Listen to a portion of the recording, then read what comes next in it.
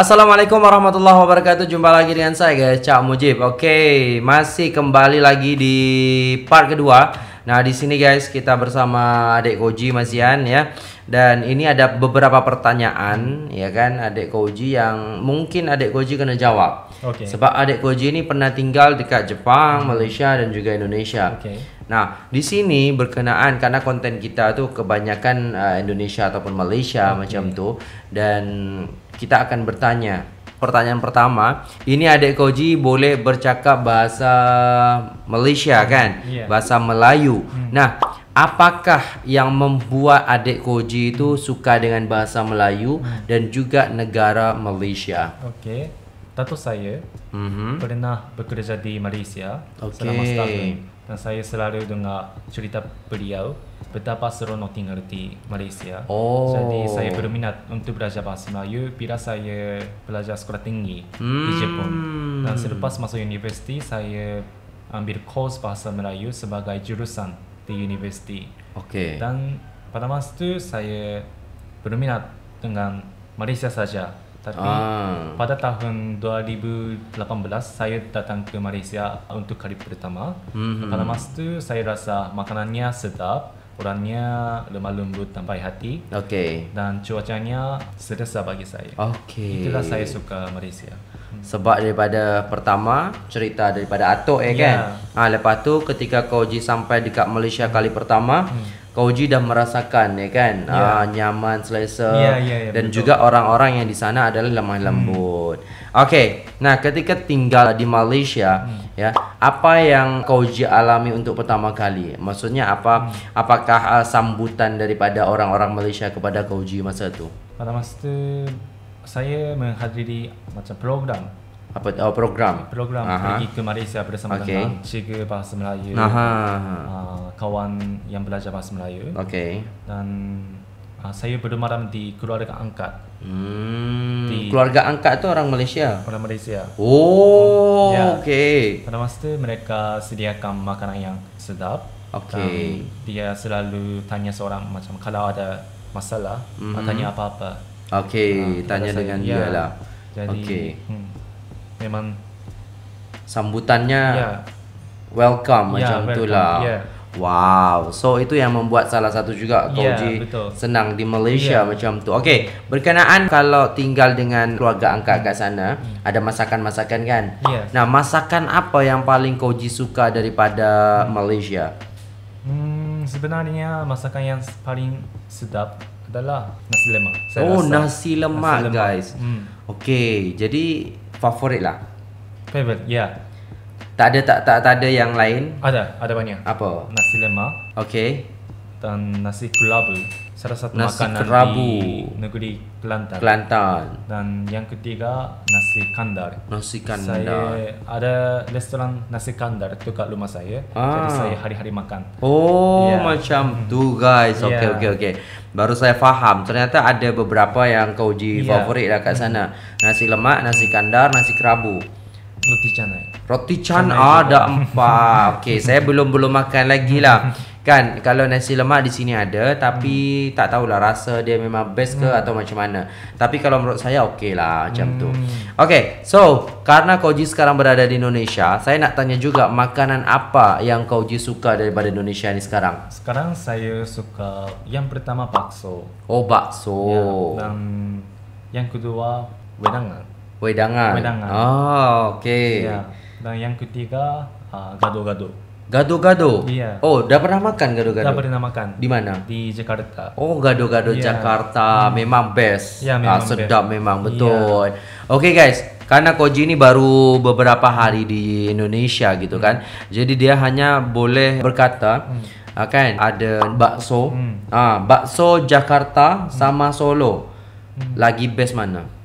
Ah, kat Solo. Solo. Solo. Ah, Ya, lagi best bakso. Solo. Okey, kemarin kita dah ke sana. Ya, ya, ya. Ah, so Uh, lepas tu wedangan. Wedangan ni salah satu makanan favorit kat Solo. Jadi kawan-kawan semua yang belum tahu wedangan, wedangan itu adalah tempat banyak makanan, Yeah. ada sate, ada apa-apa semua, ada telur dan lain sebagainya dan juga ada nasi kucing. Ah, yang Koji cakap nasi kemarin tu nasi dengan ah, ikan sekali, itu namanya nasi kucing. Nasi yang memang kecil. Ya, Ah, nasi kecil. Ah, kecil macam tu. Porsi dia memang kecil. Oh, nasi tu- itu memang ah, sedap. memang sedap. Ya. Itu khas daripada Solo kan. Ah, kalau tempat-tempat lain ada mungkin tapi itu memang awalnya daripada Solo Oh. macam tu. So memang best lah Ya, kan. Ah, dan selanjutnya guys, pertanyaan yang selanjutnya adalah bagaimana istilahnya sambutan orang Indonesia kepada Kauji pertama kali ke Jakarta, Jogja dan juga Solo ni. Saya rasa yang pertama Aha.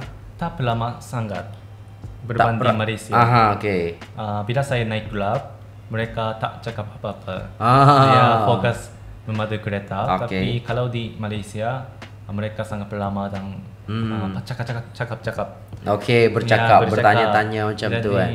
saya mula-mula saya rasa wah, orang Indonesia tak berlama sangat. Oh, jadi Lama awal-awal rasa Awal, macam ya, tu. Tapi bila saya Google Mhm. ah, tempat laundry di Indonesia, Mhm. saya tak tanya.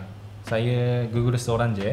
Tapi uh, Pak Cik Hmm, pak cik di hadapan uh, jalan itu datang ke sini ke dap- Koji. depan ah. saya dan ajar uh, uh, cari apa dan Ah, okey. dia macam ajar macam mana pergi ke laundry dan macam-macam. Hmm. Jadi mereka uh, baik hati juga ya. Okey, jadi awal kalau mungkin dekat driver, Hmm. kalau kat sini tu memang mungkin mungkin ya. Sebab kat sini tu orang driver Hmm. dia akan fokus kepada perjalanan.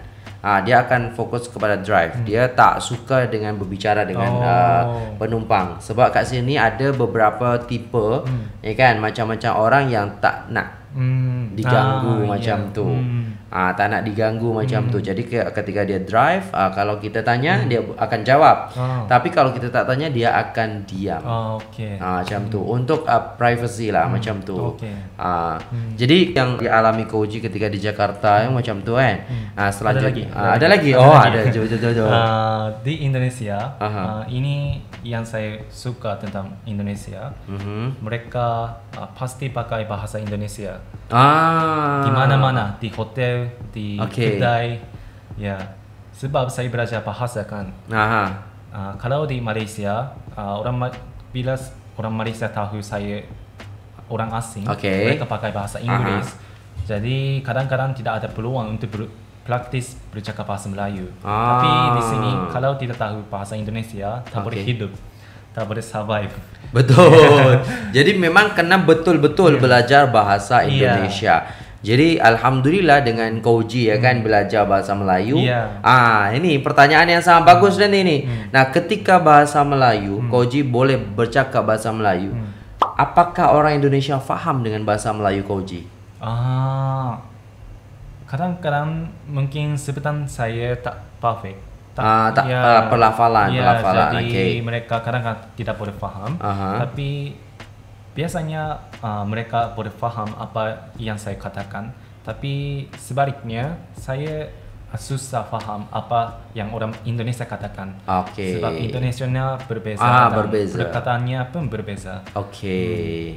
Jadi selama Koji berada di Indonesia ni, Koji senantiasa guna bahasa Melayu Iya, atau bahasa Inggris. Bahasa Indonesia. Indonesia. Jadi Okey. makin-makin saya ingat kalau coba uh, Ah. dan bisa bisa uh, dan okey jadi makin tukar bahasa Melayu kepada, kepada bahasa Indonesia. Indonesia. Ya. Okey, kalau bahasa Indonesia yang Koji dah belajar ni apa ni? Perkataan Indonesia Ah, perkataan Indonesia Ah, yang betul-betul Indonesia. bisa Aha. kalau Kalimat, satu kalimat. satu kalimat. Ha. Kalimat itu apa? Kalimat tu macam perkataan saya nak makan, bahasa Indonesianya apa? Aku mau makan. Oh, okey. Dia berarti dia dah belajar guys dan okey. Memang uh, macam tu lah kalau kita di Indonesia memang kena bela betul-betul belajar bahasa Indonesia. Sebab dekat sini tak semua orang pandai bahasa Inggeris. Ah, kita lebih mengekalkan bahasa Indonesia iya. macam tu kepada turis-turis dan banyak juga turis asing ya kan, traveler juga itu memang belajar bahasa Indonesia. Oh. Banyak istilahnya orang barat Ah, dia tak datang kat sini, Hmm. dia belajar bahasa Oh. Indonesia. Itulah. Ya itu seronok tak? Ah, seronok ah, betul betul betul. Nah, pertanyaan yang terakhir nih sebab kalau panjang sangat kan tak elok kan. Nah, adakah keinginan adik Koji ini untuk tinggal lama di Indonesia? Oh, saya setakat ini saya Aha. duduk di Jepun selama 20 tahun. 20 tahun Jepun. 21 tahun Ah. dan di Malaysia selama 6 bulan 6 bulan. dan di Indonesia uh, satu minggu. Okey. Jadi saya suka sekarang ni macam Okey. peraturan Aha. ya Jepun, Malaysia dan Indonesia. Okey. Jadi selepas ini saya ingin nak travel ke Indonesia lagi Aha. dan nak merasa pengalaman banyak-banyak di Indonesia juga. Okey. Dan selepas itu nak pilih uh, di mana saya nak tinggal. Tapi Ah. setakat ini saya teringin nak duduk di Malaysia. Okey. Sebab saya memang suka Malaysia Hmm. dan memang selesa tinggal di dekat Selesa. situ. Okey. Okey, terima kasih atas jawaban yang adik Koji berikan kepada kita dan itu juga mewakili ya kan perasaan daripada adik Koji ya kan. Karena memang uh, Koji ni baru tinggal sebentar saja Ya. dan melancong dekat Indonesia. Jadi mungkin dia untuk memilih ataupun apa nama tu memberikan jawaban yang betul-betul Hmm, lah ya. karena memang 6 bulan di Malaysia, 6 bulan di Indonesia. Ya. Nah, baru nanti fair ya kan. Ah, macam mana keputusan daripada adik Koji. Tapi setakat ini okey lah tinggal di Indonesia kan. Ya, okey. Ah, Ya, senang, seronok seronok, juga. ya kan. Nah, Alhamdulillah. Jadi selama di Solo, Koji ni kita dah pusing-pusing kan. Ya, pusing-pusing. Pusing-pusing dah ada beberapa tempat yang kita singgah. Ada tempat yang kita dah tuju kan. Dan ada buat vlog juga kan pasal dekat keraton Ya. lah, dekat pasar. Nah, jadi kawan-kawan boleh tengok nanti di channelnya Koji Jepun uh, vlog daripada Koji ni dia dah pusing-pusing dekat Indonesia, Jakarta, Jogja dan juga dekat mana? Ah, Solo. Solo. Nah, nanti kita akan juga menunggu, saya juga akan menunggu ya kan vlog daripada Koji ketika berada di Surabaya. Apa yang akan dia lakukan? Nah. So, mungkin Ya. itu saja guys. Ya, mungkin ada pesan untuk subscriber saya. Ah, terima kasih sebab ah, tengok video ini ya. Okey. Jadi jangan lupa tengok video vlog di Indonesia saya juga. Oke, terima kasih. Sampai jumpa di video selanjutnya. Apabila ada salah kata, kami mohon maaf. Wassalamualaikum warahmatullahi wabarakatuh. Sampai jumpa. Bye. Jumpa lagi. Jumpa lagi.